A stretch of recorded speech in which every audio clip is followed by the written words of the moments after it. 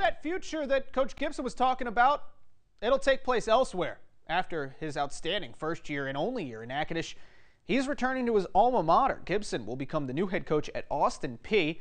And suddenly, after 23 years without a head coaching search, NSU is entering its second in as many seasons.